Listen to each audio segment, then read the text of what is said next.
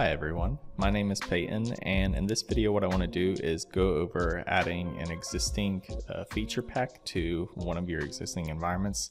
Um, so what I mean by that is let's say that you started a environment uh, like the one that I have here. So uh, you've kind of built it out and everything but you didn't, you didn't actually have a game mode where you could play and run around the environment and all sometimes it's really nice to play as a character, run around the environment, check out, uh, you know, like the uh, proportions and everything. Um, and so, yeah, if you started your project without that uh, and you want it, that can kind of be a hassle. Um, but this video, yeah, kind of run through just how easy it is to add that to your project and get started with it. Um, so by default in my environment here, uh, if I right click, you can hit play from here. And what it's going to do is it's actually going to have me in first person. So you can see that I'm kind of running around. I can see my hands in front of me, but other than that, it is a first person like view mode. And yeah, I'm kind of just enjoying my environment that way.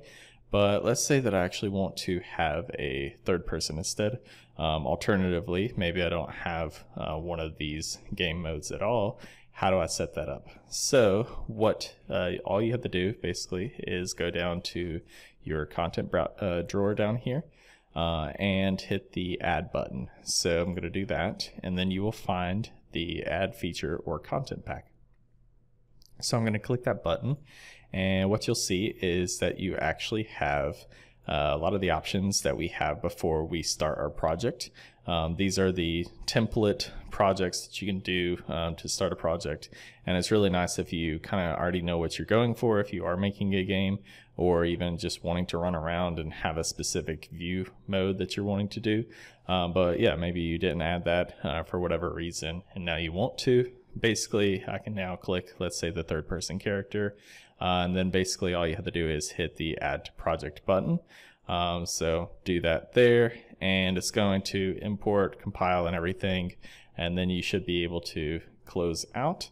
Uh, and it's going to, yeah, as well prepare the shaders. You'll notice that down here, uh, just because it's actually importing all of that information. And so now what we want to do is right now if I play from here, it's still going to be playing as my uh, first person character. And instead, what I want is to be able to play as my third person character. So I'm going to go up to edit uh, at the top and basically go to project settings. And under here, you can actually find under the project uh, area, you can find maps and modes. Alternatively, you can also use the search uh, bar here. But basically what we want to find is the default game mode. Um, so yeah, right now default game mode is just first person uh, game mode. But what I can do is actually switch this over to my third person game mode um, now that it is imported into my project. Uh, and all you have to do is close out of that. And now if I go back to my scene and hit play from here, you'll see that I am playing as my third person character. Um, so yeah, it's really nice and pretty easy to actually add a, uh, different game mode to your project.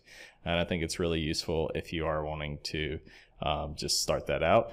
Uh, additionally, like let's say that you have a character already and maybe you want a feature to where uh, the character could then switch to vehicle driving or so. Um, you could potentially like actually just bring in both of those and uh, have a transition between the different uh, game modes, I believe. So uh, that's really nice. Just yeah, being able to use the templates uh, that are already in there, and I think it's pretty easy to actually uh, add in or integrate uh, later on, even if you don't have it currently in your project. Um, but yeah, that's about it for this video. It's just a simple uh, tip on how to add it to an existing uh, project. Uh, if you have any other questions, of course, feel free to reach out, but I will see you in the next one.